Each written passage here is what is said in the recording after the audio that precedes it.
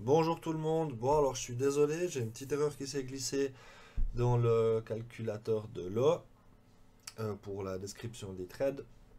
En fait, pendant le tuto, je vous avais fait un exemple et puis j'ai pas j'ai oublié de remettre ça à zéro avant de vous l'envoyer.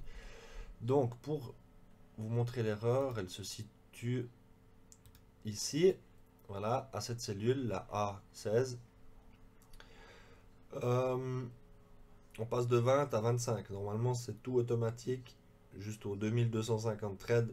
Si on met le premier 10,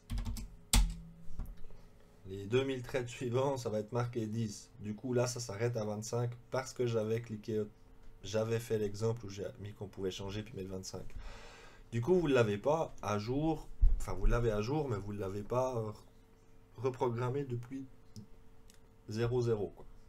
Donc, pour résoudre le problème, c'est simple, vous cliquez sur A15, en bas à droite de la cellule, vous avez un petit carré qui s'affiche, vous allez dessus avec votre curseur, vous appuyez vous maintenez appuyé, vous descendez, puis vous relâchez quand vous êtes en bas à la A16 et tout se remettra automatiquement. Voilà, je suis vraiment désolé. Puis ben, je vous souhaite une bonne continuation. Au revoir.